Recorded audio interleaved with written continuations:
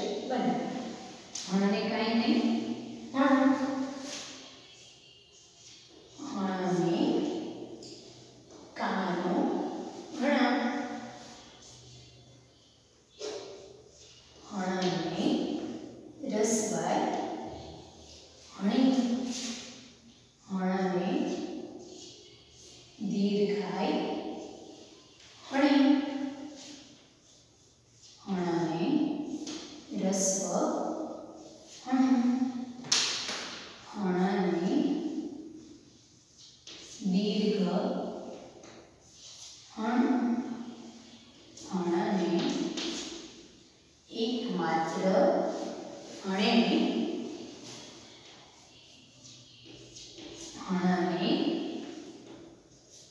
બે માત્ર હણાઈ હણાને કાનો એક માત્ર હણું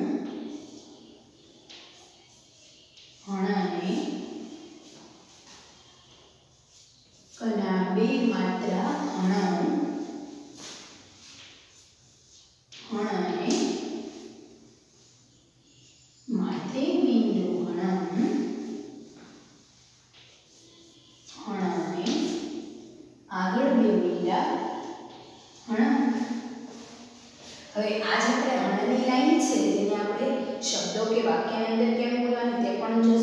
અને અત્યારે આપણે આપણે ખાલી બારાક્ષરી લખવાની, ત્યારે કેમ બોલવાની? હણાને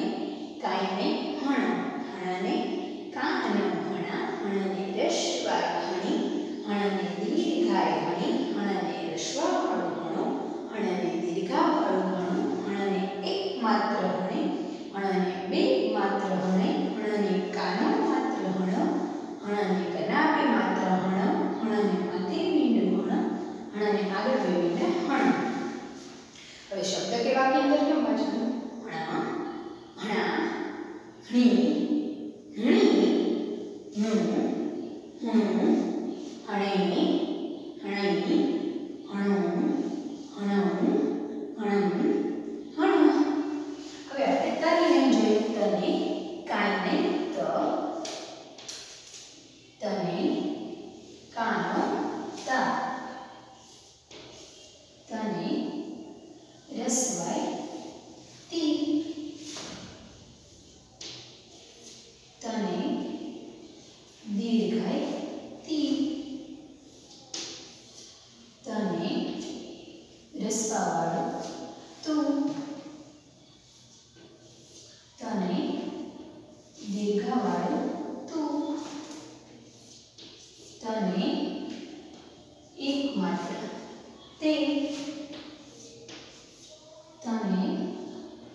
બેગ માત્રા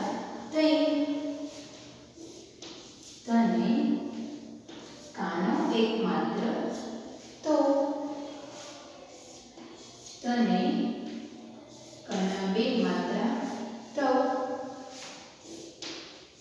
તને માથે મીઠું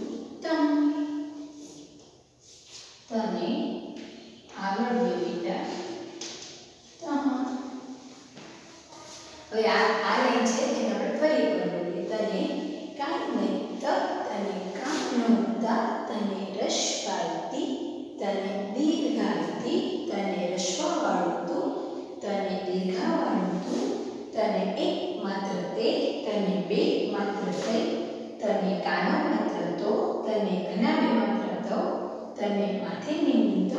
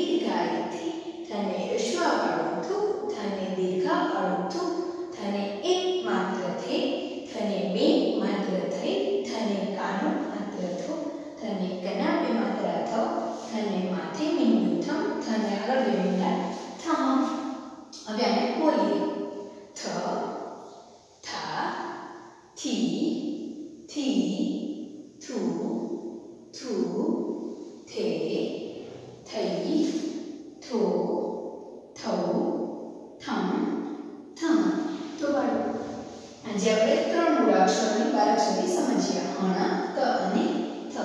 ત્યાં સુધી આપણે આગળની પારક મૂળાક્ષરની પારખ સુધી શીખી ત્યાં સુધી મળ્યું. છે